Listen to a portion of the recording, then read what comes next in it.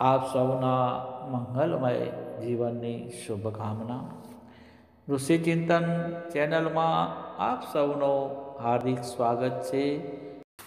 શુનકાળના સાથીઓ, લેખક પંડિતશ્રી રામ શર્મા આચાર્ય, પ્રકૃતિનું રુદ્રાભિષેક પાંદડાનું શાક. શાકભાજીનું અહીં મહત્ત્વ નથી. બટેકા સિવાય બીજી કોઈ શાકભાજી મળતી નથી. નીચે દૂરના પ્રદેશમાં પેદા થતા બટાકા અહીં બહુ જ મોંઘા છે.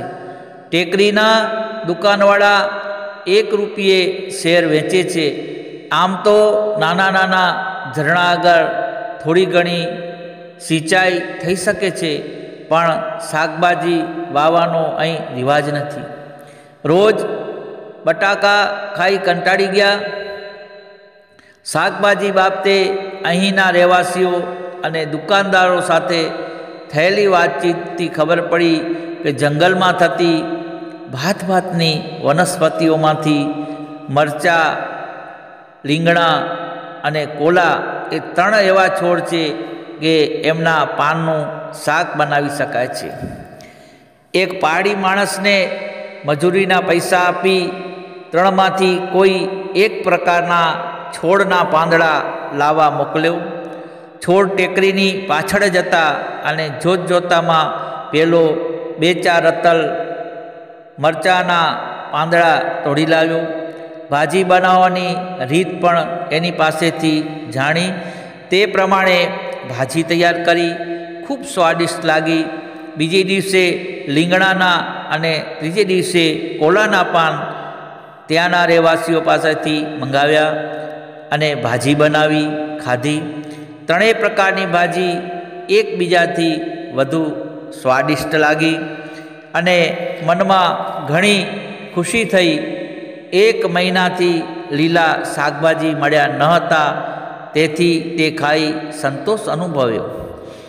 ત્યાંના પહાડી નિવાસીઓ રસ્તામાં મળતા હતા, એમની સાથે જ્યાં ત્યાં મેં ચર્ચા કરી કે આટલો સ્વાદિષ્ટ ભાજીપાલો અહીં થાય છે, તો આપ તેનો ઉપયોગ કેમ નથી કરતા?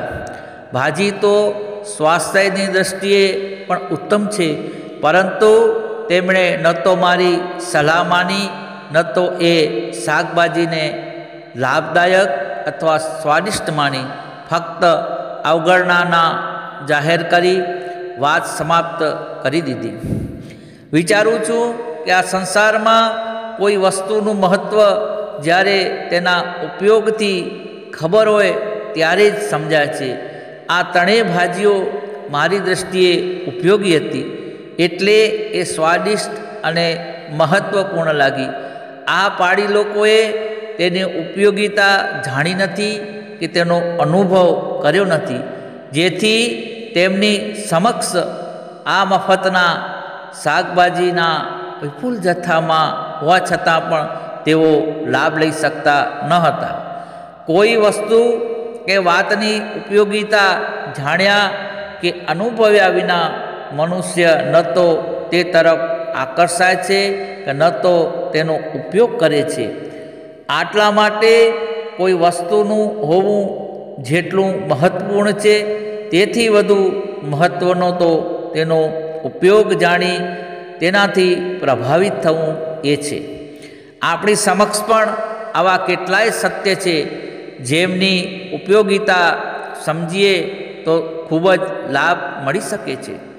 બ્રહ્મચર્ય, વ્યાયામ, પ્રાતઃકાળે વહેલા ઉઠવું, વિષ્ણુથી દૂર રહેવું, મીઠી વાણી બોલવી શિષ્ટાચાર રાખવો વગેરે અનેક એવા સત્ય છે, જેનાથી ઉપયોગી આપણને ઘણો લાભ થાય છે.